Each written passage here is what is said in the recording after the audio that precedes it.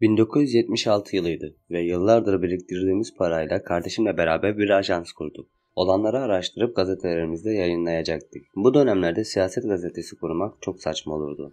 Bizi anında tutuklayıp cezaevine koyarlardı. Zaten o dönemde de neredeyse hiç siyasi gazete yoktu. Biz de siyasi gazete kurmak yerine korkunç ve gizemli olayları araştırıp gazetede yayınlayacaktık. İlk işimiz bir köydeki vakalarla ilgiliydi. Nazar olduğu düşünülüyordu. Çünkü köydeki kadınların tümüne türlü belalar geliyormuş. Hiçbir ailede huzur falan kalmıyormuş. Kardeşim Sadık eline bir sürü evrak alıp bir de bavulunu hazırlayıp köye gitti. Orada bir ay kalıp gelecekti topladığı bilgilerle. Bu süre içinde mektuplaştık. Her şeyin son derece düzgün gittiğini, o kadar da gizemli bir olayın olmadığını söylüyordu.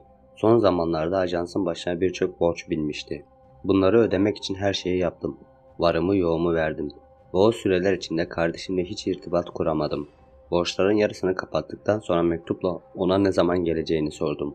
Çünkü maddi durum zayıftı ve artık gelmesi gerekiyordu. Mektuptan sadece 4 gün sonra cevap aldım ve şok olmuştum. Kardeşim bana gelmeyeceğini ve artık hep orada kalacağını belirtti. Maddi durumum el vermediği için o köye gidemedim. Çünkü köy çok uzaktaydı. Arkadaşlarım da gitmek istemedi çünkü o köyle ilgili birçok dedikodu vardı. Orada cin vakılarının gerçekleştiğini söylüyorlardı ve bu yüzden hiç kimse gitmek istemedi. En yakın arkadaşım da gidemezdi. Çünkü o da benim ajansımda çalışıyordu. Onun birçok mali işleri vardı ve onun da benim gibi borçları birikmişti. En sonunda polislere haber verdim ve onlar köye gidip kardeşimi getireceklerdi. Ama geldiklerinde bana onu bulamadıklarını söylediler. Köyde onu gören de pek olmamış. Sadece birkaç kişi görmüş ve onlar da nereye gittiklerini bilmiyorlarmış. Kardeşimin üzüntüsünü çekerken borçlar ikiye katlandı. Borçlarımın tamamını tam 10 yılda kapatabildim. Borçlarımı kapatmıştım ama param yoktu. Ve para bulup o köye gitmem gerekiyordu. Aslında borç alıp gidebilirdim ama ben ajansı bırakıp gidemedim. Bu yüzden ajansı satıp gitmeye karar verdim. 10 yıl daha geçti ve ajansımı birisine sattım artık. Artık maddi durumum iyileşmişti ve köye gidebilirdim. Ama ilk önce en yakın arkadaşım Salman'a danışmam gerekiyordu. Cumartesi sabahı Salman'ı aradım ve ona danışacağımı söyledim. Bir kafede buluştuk ve ona olan biteni derinlemesine anlattım. Zaten o da bu konuları biliyordu. Salman bana ilginç bir teklif sundu. Ben ben bilemiyorum ama bence sen bir istihareye yat. Ben tamam da kötü bir şey çıkarsa ben kötü ya da iyi bir şey çıksa da gideceğim gibi Salman. Sen bir yap da gidip istihareye yattım ama rüyamda hiçbir şey göremedim. Daha sonra Salman'a söyleyince benim için istihareye yatacağını söyledi. O da yaptıktan sonra bana ne gördüğünü anlattı. Rüyasında kara, pis, kötü şeyler görmüş. Bu yüzden de oraya gitmememi önerdi. Ama benim aklımda oraya gitmek vardı. Hem polisler de oraya gitti ve hiçbir şey olmadı. Ben gitsem ne olurdu ki? Bavulumu hazırladım ve ilk otobüste yola çıktım. Gideceğim köy Dört Divan köyüydü. Direkt köye götürmüyorlardı. Kastamonu'nun Yeni Çağ ilçesine gittim. Oradan beni indirdiler. İlçede bir kahvehane vardı. Oraya gittim ve tavla atanlara sordum. Selamun aleyküm. Ben buradan Dört Divan köyüne nasıl gidebilirim? Aleyküm selam kardeş. Hayırdır neden oraya gitmek istiyorsun? Benim ağabeyim orada kalıyor. Benim oraya gitmem gerekiyor. Senin ağabeyinin adı ne? Sadık. Hiç bilmiyorum onu. Benim bir tane araba var. Şu oyunu bitireyim birlikte gideriz. Yoksa ülkeye gidecek araba yok. Orada cinler var. Kimse korkudan gitmiyor. Tamam. Adam bana çay ısmarladı. Çayımı içerken o da oyununu bitiriyordu. Birkaç dakika sonra kalktık. Adamın külüstür bir torosu vardı. Öne oturdum. Adam iki denemede arabayı çalıştırabildi. Hareket etmeye başladık. Taşlı yollar olduğu için hoplayıp zıplıyorduk. O sırada adam muhabbete girdi. Demek ağabeyin orada he? Peki orada nerede kalacaksın? Bilmiyorum. Belki kalacak bir yer bulabilirim. Benim bir tanıdığım var. Orada kalabilirsin ama baştan söyleyeyim. O köyde tuhaf şeyler oluyor. Nazar mı dersin yoksa cinler mi uğraşıyor o köyle bilinmez. Kendine dikkat et. Pek sanmıyorum öyle bir şey olduğunu ama yine de dikkat ederim. Belki de vardır. İstihareye bir arkadaşım yattı benim için. Kötü bir rüya görmüş. Bana gitmememi ama ben yine de gitmeye karar verdim. Keşke gitmeseydim. Şimdi bile geri dönebiliriz. Yok canım. Yanında para var mı? Var biraz. Neden? Bizi de görürsün herhalde. Su yakmıyor sonuçta. Tamam. Sohbet ede de sonunda bir yere vardık. Adam bana buraya kadar dedi. Ben de nedenini sordum. O da ileride bir çukurun olduğunu ve arabaların geçemediğini söyledi. Ona teşekkür edip 10 lira verdim. Daha sonra bavulumu alıp yürümeye devam ettim. İleride gerçekten büyük bir çukur vardı. Geçecek hiçbir düzgün alan yoktu. Çukura yavaş yavaş indim. Biraz ilerledikten sonra tırmanarak çukurdan çıktım. İleride evler vardı ama tabelalarda eser yoktu. Bavulla yürüyerek köye girdim. Dışarıda hiçbir adam yoktu. Bir kişinin bağırma sesini duydum. Bir evden geliyordu. Pencere açıktı. Kadın kocasından dayak yiyordu. Dedikleri gibi buradaki karı kocaların arası çok kötüydü. Adam bana bir kağıt bırakmıştı. Onda kalmak için. Köyün meydanındaydı. Meydana indim ve dikkatimi bir şey çekmişti. Cami yoktu ve bir kilise vardı. Kilise de çok eski bir kiliseydi. Çok sıcaktı. Bu yüzden meydandaki çeşmeden su içtim. Çeşmeyi açtım su gelmiyordu. Daha sonra biraz akmaya başladı ama rengi siyah gibiydi. Daha sonra kızılımsı bir renge dönüştü.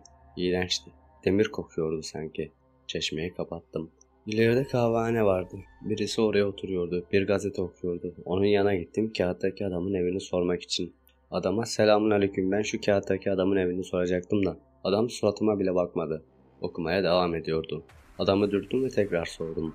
Adam gazetesini yere attı bana baktı. Bilmiyorum dedi ve kahvehanesinden içeriye girdi. Çok şaşkındım. Değişik bir insandı. Gidip evi buldum. Evin kapısını çaldım. Kapıyı bir kadın açtı. Suratı kanlı ve her yeri morarmıştı. Bana ne var diye sordu. Ben de kağıdı gösterdim ve anlattım olayı. Bana evi gösterdi. Ev çeşmenin arkasındaki evdi. Kapıyı kapatacakken kocası geldi ve şiddetli bir şekilde vurdu. Kadın yere düştü. Onu sürükleyip dışarıya attı. Ben de sinirlenip adama vurdum. Adam yere yığıldı. Evin içinde bir silüet vardı. Siyah çarşaflı birisiydi. Yüzü gözükmüyor denilebilirdi. Ama gözlerini görebiliyordum. Sarı bir renkti. Kızgın bir şekilde bakıyordu bana. Kendimi biraz değişik hissettim. O sırada adam kalktı ve bana yumruk attı. Yere düştüm. Oradaki çarşaflara tekrar baktım ama orada yoktu. Ben kalkıp oradan uzaklaştım. Uzaklaştığımı bile bilmeden gittim. Çeşmenin arkasındaki eve gittim ve kapıyı açtım. Adam inşallah beni evine misafir eder. Kapıyı uzun süre bekledikten sonra bir adam açtı. Üstünde sadece atlet vardı ve altında bir şort vardı. Bana yumuşak bir ağızla merhaba kime baktınız kardeş. Ve yerdeki gömleğini alıp giydi. Giyerken de kusura bakma dedi. Ben de hemen kağıdı gösterdim ve abidin o mu diye sordum. O da onaylayınca bütün olayları anlattım. Ve evinde kalıp kalamayacağımı sordum. O beni içeriye aldı. Bir tane çocuğu ve karısıyla kalıyordu. Muhabbete başladık ve ben de merak ettiklerimi sordum. Neden herkes bu köyden korkuyor? Bilmiyorum vallahi. Bir şeyler uyduruyorlar. Cin falan varmış burada diyorlar. Bir de burada herkes kavga ediyor diyorlar. Gerçekten buradaki neredeyse herkes kavga ediyor. Burada aile yaşantısı yok. Herkes kavga eder.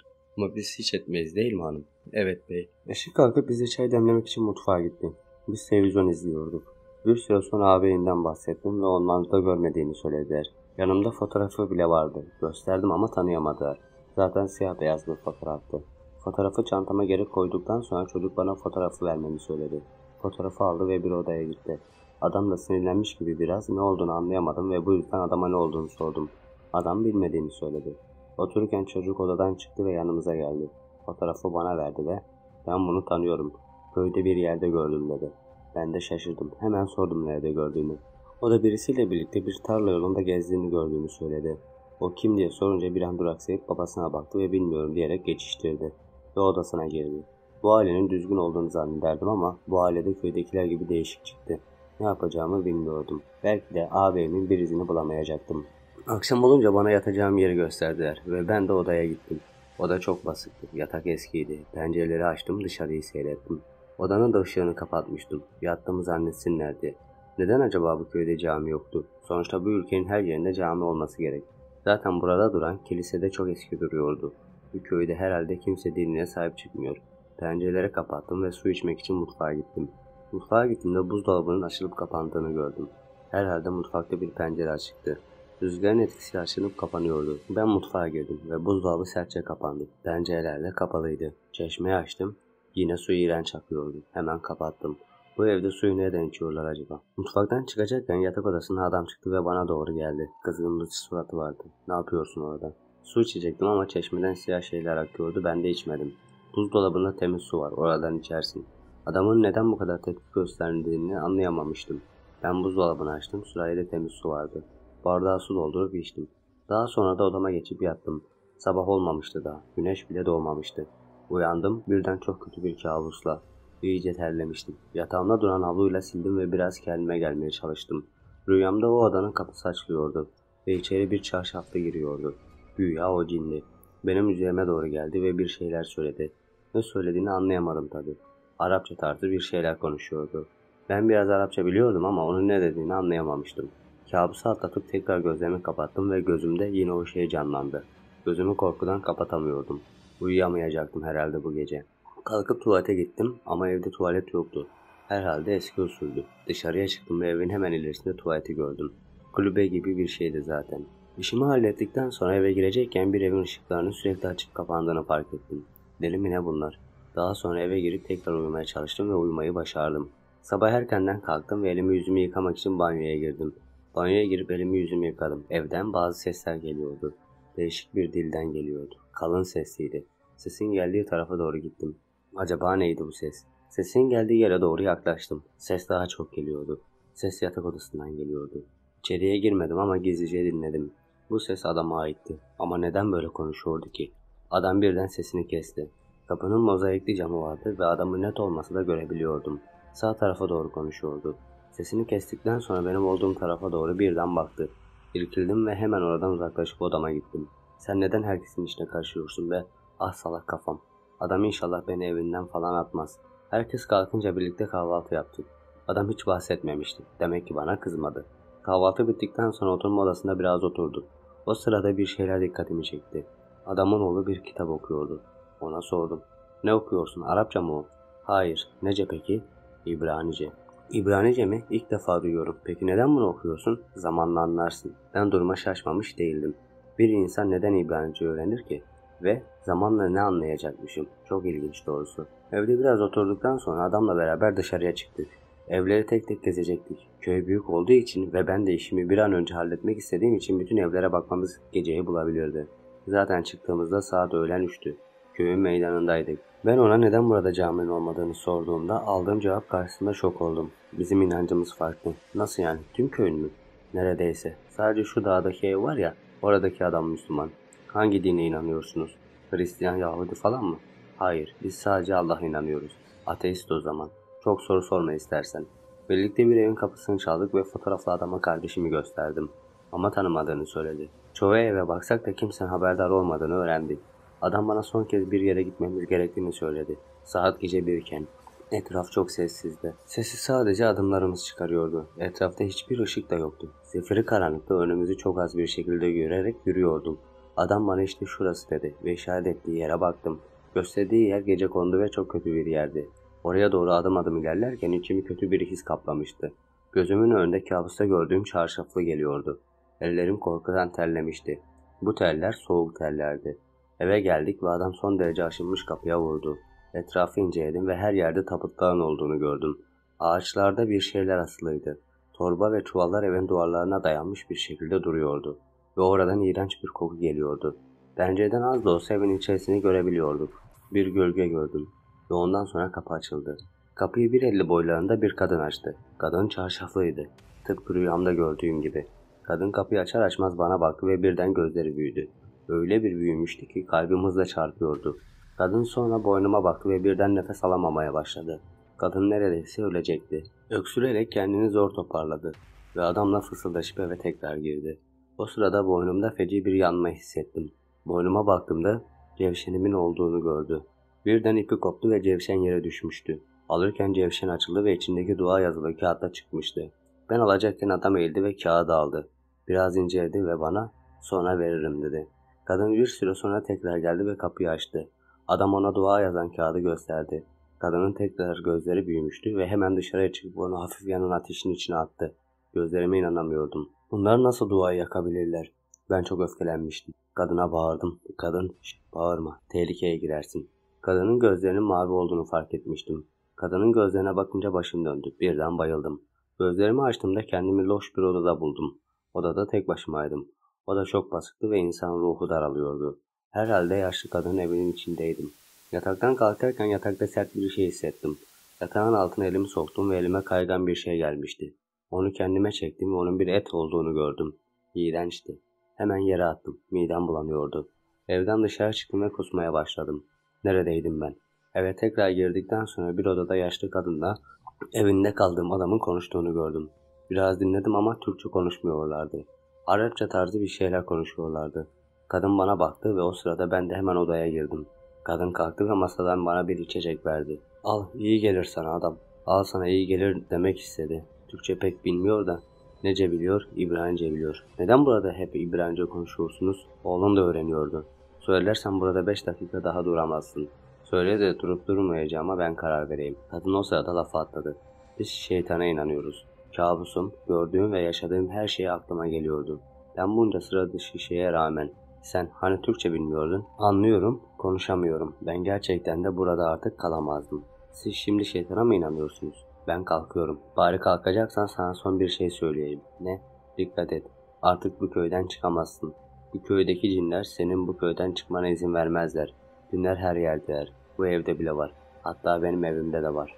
Kendime hemen odadan attım ve evden dışarıya çıktım. İçimdeki sıkıntıyı tarif edemezdim. Ne güzel evimde oturup çayımı içerdim ama şimdi böyle bir pisliğin içindeydim. Buradan çıkmasam ya bunlar gibi dinsiz olacağım ya da bu cinler tarafından kaçırılacağım. Issız yerlerde kendimi bilmeden koşmaya başladım. Kime gidebilirdim ki? Herkes kötü zaten. O sırada aklıma birden dağda yaşayan adam geldi. Oraya gitmeye karar verdim. En azından belki o adam beni kurtarabilirdi. Gerçi kurtarabilseydi kendini kurtarırdı ilk başta. Dağın bulunduğu yere doğru koşarken önüme birden bir köpek çıktı. Köpek gerçekten çok garip bir haldeydi ve tam da o sırada çok şaşırdığım bir olay gerçekleşti. Bir grup insan davullu zurnalı düğün yapıyorlar ve üstelik oldukları yerde kalmayıp hep ilerliyorlardı. Bunlar nereye gidiyorlar ki? Biraz dikkatli bakınca düğündekilerin ayaklarının ters olduklarını gördüm. Zaten ayakları fark ettikten sonra yüzlerine bakınca gerçekten çok korkunç bir suratı büründüklerini gördüm. Bana dik dik bakıyorlardı ve birisi bana yaklaşarak Arapça tarzı bir şeyler demeye başladı. Neredeyse altıma kaçıracaktım ama o sözünü bitirene kadar orada dikili kaldım.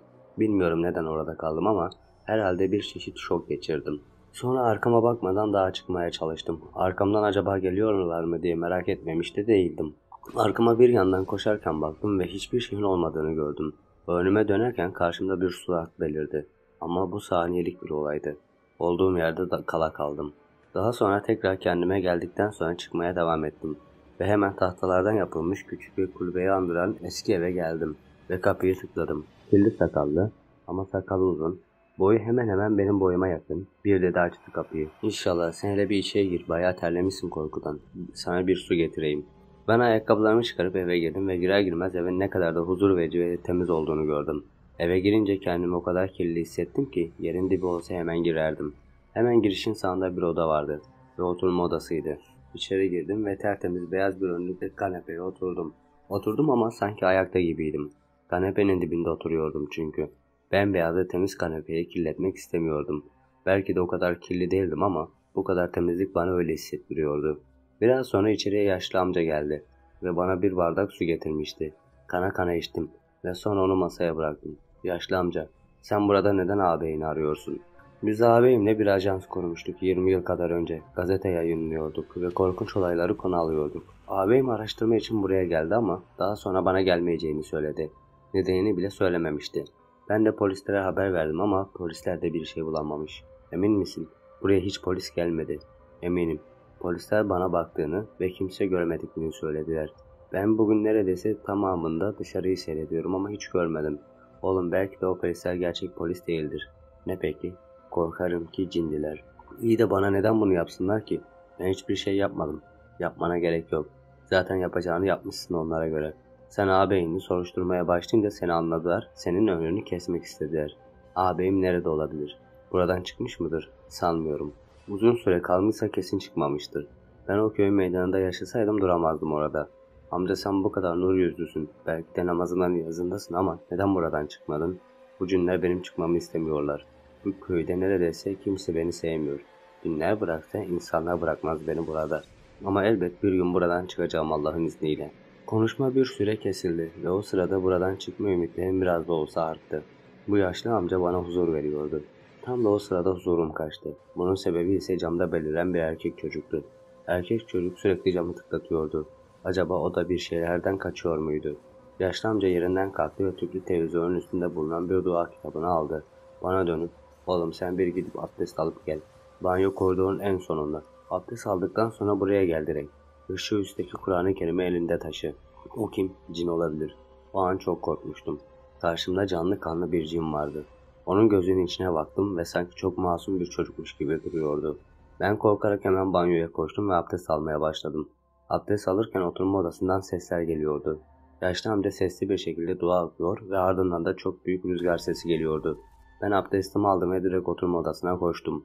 Hemen yukarıdaki raftan bir sandalyeye çıkarak Kur'an'ı aldım ve elimde tutmaya başladım. Bir yandan da yaşlı amca ve o çocuk kılıklıyı izliyordum. Amca dua okurken sesini sürekli yükseltiyordu ve boynundaki damarlar sanki çıkacakmış gibi belirginleşiyordu. Belli ki çok zorlanıyordu. En sonunda çocuğun koşarak uzaklaştığını gördüm. O gidince rüzgar da birden kesildi ve aniden rüzgarın kesilmesiyle pencerede kapandı. Yaşlı amca nefes nefese kalmıştı ve dinlenmek için kanepeye oturdu. Ben de mutfağa gidip bir su doldurdum ve amcaya verdim. Bizim için çok zorlu bir gün olmuştu. Saat 3'e karşı gayet rahat bir odada uyudum ve uykumu çok iyi aldım. Zaten o zaman amca da uyumamıştı ve sabahı bekliyordu. Sabah erkenden kalkmıştım ve hava almak için dışarıya çıkmıştım. Hava çok güzel gözüküyordu. Sanki burada hiçbir kötülük yoktu. Buraya ağabeyimi bulmak için geldim. Belki de ama şu anda sadece kendimi kurtarmam gerekiyordu. Evinde kaldığım yaşlı amca bana olanak sağlayacak bir insandı. Ben dışarıyı seyrederken birden sağ taraftan bir şeyin geldiğinin farkına vardım. Sağ tarafıma hiç bakamıyordum ve bu yüzden de bana neyin yaklaştığını bilmiyordum. Sadece hissediyordum ayak seslerini. Sağıma hızlıca baktım ve gelenin yaşlı amca olduğunu gördüm. O an içimdeki kötü duygular birden kayboldu ve yerine huzur aldı. Amca bana yaklaşırken arkasından gelen bir kadın olduğunu gördüm.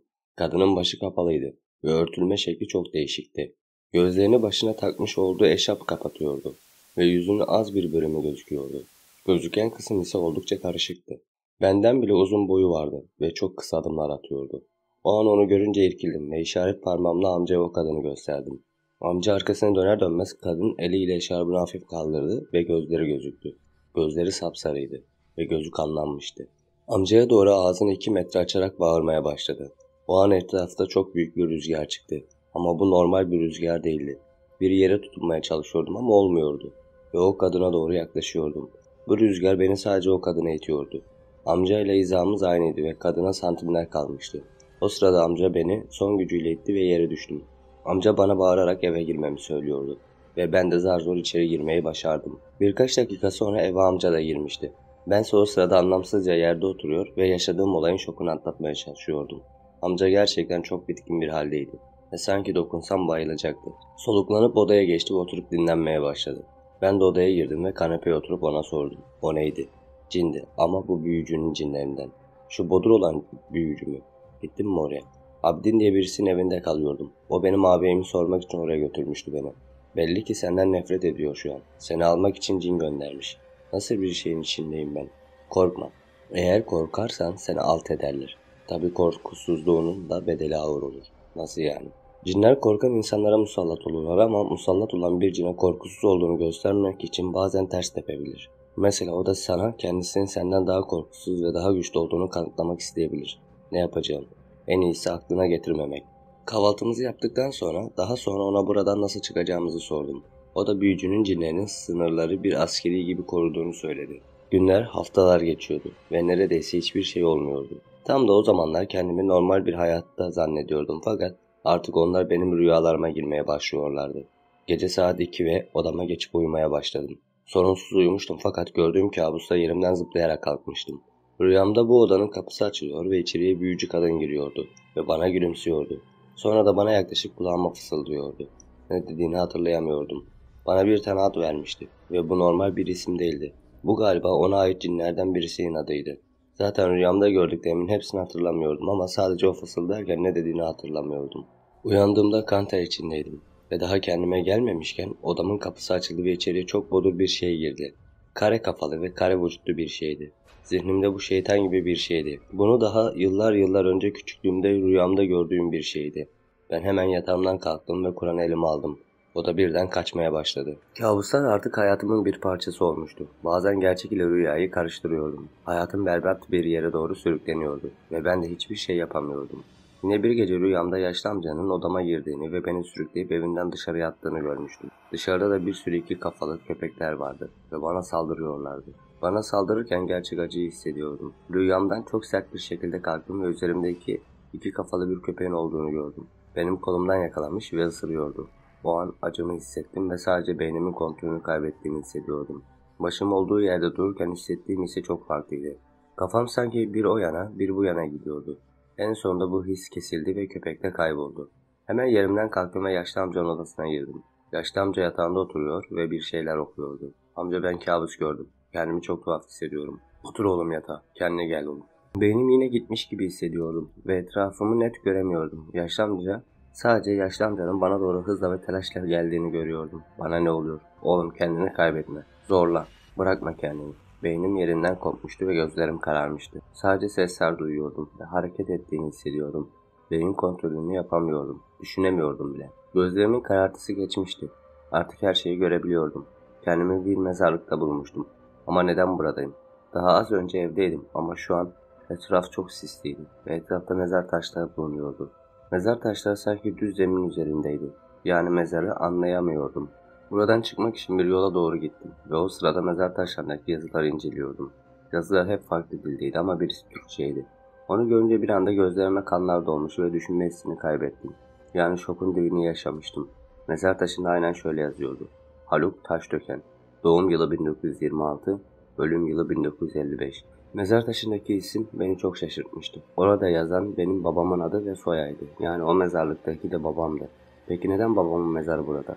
Bu sorular kafamı kurcalarken birden ayak sesleri beni ürkütmeye başladı. Sağ tarafıma baktım ve bana doğru büyücünün geldiğini gördüm. Ondan gerçekten korkuyordum. Amca ben ilk geldiğimde bana bir cevşen gibi bir şey hazırlamış ve onu boynumdan her zaman taşımamı söylemişti. İşte o zaman büyücüyü görünce direkt korkarak boynuma dokundum. Ama dokunduğumda sadece tenimdi.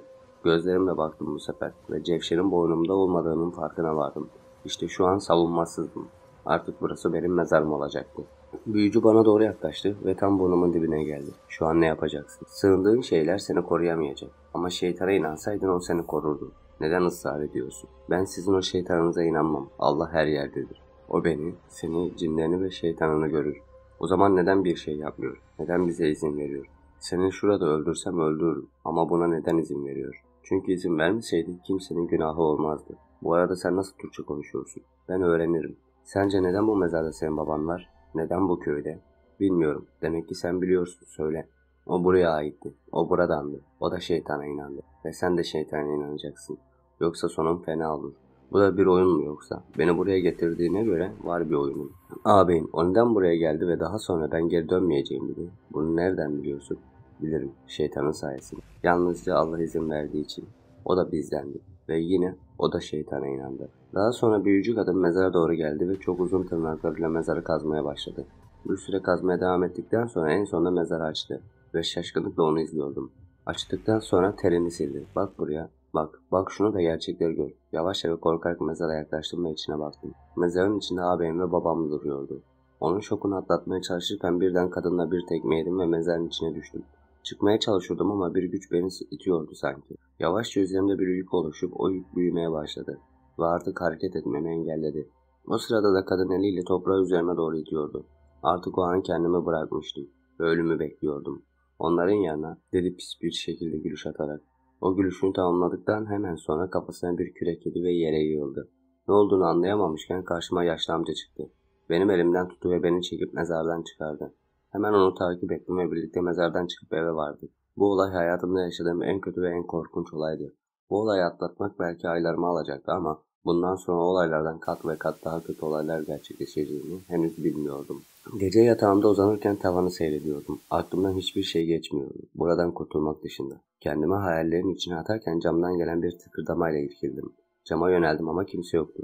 Yine benimle uğraşıyorlardı. Artık bunlara alışmıştım. Artık bunlardan korkmuyordum. Ben aldırış etmeden yatağıma geri döndüm ve gözümü kapattım. Gözümü kapattıktan hemen sonra gözümde kendimi gördüm. Gördüğüm şey kendime tavandan bakıyor ki halimdi. Korkuyla gözümü hemen açtım ve tavana baktım. Tavanda elleri ve ayakları tavana yapışmış gibi olan ve suratı acayip korkunç bir şey vardı ve gözlerini dikmiş bana bakıyordu. Ben yataktan fırlayıp odadan çıkmak istesem de olmuyordu. Yine üzerimde bir ağırlık vardı ve beni itiyordu. Ayrıca nefes almamı da zorlaştırıyordu. Nefesim kesiliyorken o şey bana doğru yaklaşıyordu ve o sırada da odanın kapısı açılıyordu. Kapıdan bana doğru karaltı geliyordu. Bana yine değişik bir dille konuşuyordu beni yavaşça çekiyordu. Ayaklarımdan hızla çekiliyordum ve havada duruyordum. Kapının sonuna kadar hep öyle çekildim ve sonra birden yere çakıldım. Artık her şey kaybolmuş ve nefesimde normalleşmeye başlamıştı. Ben korkuyla amcamın odasına gittim ve ona olan biteni anlattım. İnşallah hepsi geçecek. Onlar geldiği zaman yanına hemen bir Kur'an al. Sana karışamayacaklar ama seni Kur'an'ın bırakacağın anı bekleyecekler. Bu yüzden sen onu elinden bıraktığın zaman sana verilen zarar daha zor olacak. Ama sen yine de yanında taşı. Sabaha kadar taşı. Cinler neden gündüz gelmiyorlar? Onlar karanlıkta güçlenirler. Onlar karanlığı severler. Bu arada yatarken hiçbir zaman göbeğinin üstüne yatma. Neden? Peygamber Efendimiz sallallahu aleyhi ve sellem hep bizim sağ tarafa doğru yatmamızı söyler. Eğer göbek üstüne yatarsan sana cinler ve şeytan zarar verip taciz edebilir. Buna dikkat et olur mu? Olur. Amcayla biraz daha sohbet ettikten sonra yatağıma geçtim ve derin bir uykuya daldım. Yine bir akşamdı ve yine o yatağa giriyordum. Yatağıma geçtim ve sağ tarafıma yatıp uyumaya bekledim. Bir an önce uyumak istiyordum. Yoksa bunlar yine benimle uğraşacaklardı. Tam uykuya dalacakken birden odamın kapısı açıldı ve içeriye amca girdi. Ben yerimde doğruldum ve amcaya ne olduğunu sordum. Amcanın yüzündeki büyük telaş anlayınca içim az olan huzur bile kaçmıştı. Üzerine bir şeyler al. Hemen gidiyoruz. Nereye? Köyün çıkışına. Artık bizi burada barındırmıyorlar.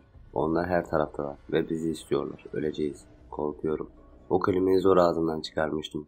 Ve söyledikten sonra gözlerimden yaşlar akmaya başlamıştı. Ben yanıma Kur'an'ı alacakken amca bana müdahale etti. Alma. Onu yanımızda tutup heba etmeyelim. Yere falan düşürürsek sonumuz felaket olur. Hemen üzerime bir şeyler aldım ve amcayla beraber dışarı çıktık. Hayret. Dışarı çıkmamıza rağmen hiçbir şey bize karışmıyordu. Köyün meydanından geçtik ve sonra ormanlık alana doğru gittik. İyice ilerlemişken artık rahatladığımı hissediyordum. Biraz daha ilerledik ve bir ağacın kenarına geldik. Ağacın kenarında bir işaret vardı. Yanında da mumlar bulunuyordu. Ben korkup amcanın dibine geldim. Oradan gitmeye çalışırken amca beni durdurdu. Hayır gitme. Tek kurtuluş yolumuz bu. Bunun ortasına geç ve seni bu cinlerden kurtaracağım. Ben artık kendimi bırakmış hüngür hüngür ağlıyordum. Amca beni işaretin olduğu yere oturtturdu. Ben gözlerimi kapattım ve beklerken gözlerimi açtım bir ara ve amcaya doğru baktım. Amcanın suratı değişmiş ve şekil değiştirmişti. Ben onu fark edince onun gerçekten amca olmadığını fark etmiştim. Bu yüzden hemen yerimden kalktım ve ormanın daha da derinliklerine doğru koşmaya başladım. Koşarken ecel telleri döküyordum. Koşarken arkamdan kimsenin gelmediğini fark edince kendimi durdurdum. Etrafa baktığımda her taraf ağaç ve karanlıktı. Korkuyordum ama ne yapacağımı da bilmiyordum. Tek kalmıştım ve artık yapacak hiçbir şeyim yoktu. Biraz daha ilerledikten sonra kendimi birden uçurumdan düşer gibi hissettim ve olduğum yerde kala kaldım. Kendimi hemen yere attım. Gözlerim kararıyordu artık. Yine kontrolümü kaybediyordum. Sanırsam onlar benim içime girmişlerdi. Gözlerimi açtığım zaman kendimi bir evde bulmuştum. Bu ev tanıdık geliyordu. Sanki daha önceden gelmiş gibiydim. Yerimden kalktım ve odadan çıktım. İşte o an büyücünün evinde olduğunu fark ettim. Bir kapı açıldı ve büyücü girdi içeriye. Ben kaçmaya çalışsam da kaçmak istediğim kapılar bir bir kapanıyordu. Büyücü üstüme doğru yürüyordu. Beni alt edemezsin. Bırakın beni. Benden ne istiyorsunuz? Gerçekleri öğrenmeni istiyoruz. Ne gerçeği? Bak, baban yıllar önce bizim köye gelip benimle konuştu ve cinlerle irtibat kurup işbirliği yaparak define buldu. Defineyi bulunca cinleri bıraktı ve kaçmaya başladı köyden.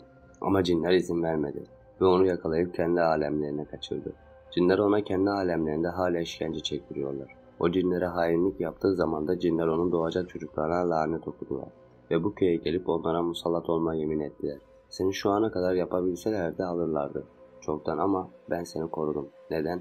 Çünkü sen benim oğlumsun. Ne? Evet. Sen de, senin kardeşin de benim çocuğum. Ben ağabeyini koruyamadım ve onu aldılar ama seni veremem. Seni almalarına izin veremem. Şimdi cinler bütün gerçekleri öğrendiler. Beni de, seni de kendi alemlerine alıp işkence çektirecekler. Buradan birlikte kaçmamız gerek. O sırada deprem gibi yer sallanmaya başladı. Kapılar hızla açılıp kapanıyordu. Kimse yerinde duramadı ve ikimiz de yere düştük. Büyücü bir şeyler söylüyordu cinlere ama o söyledikçe daha da şiddetleniyordu sarsılmalar. Benim ayaklarımdan çekmeye başladılar ve sürüklediler. Aynı şekilde büyücü de çekiliyordu. Artık son dakikalarımın olduğunu anlamıştım. Bu dünya benim için noktalanıyordu. Beni kaçıracaklardı ve bana hiç bilmediğim işkenceler yapacaklardı belki de. Gözlerim kararmaya başladı ve artık göz kapaklarım kapanmış.